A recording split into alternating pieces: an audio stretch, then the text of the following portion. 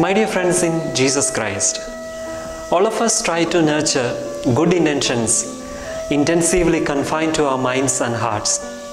And often the result is that the good will remain internally, unable to produce for the well being of the other.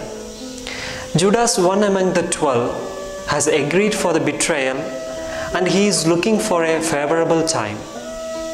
However, the evil has conquered his entire self, surpassing the goodwill. But Jesus submitted his entire self to the Heavenly Father. The attitudes of both Jesus and Judas direct us to think about our life altogether.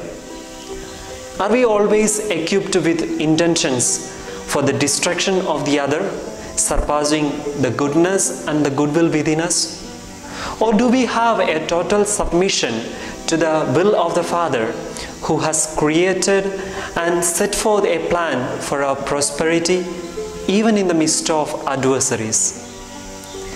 God has given us the freedom and He expects that we will grow in freedom by nurturing the nature of God that is love, mercy, and forgiveness.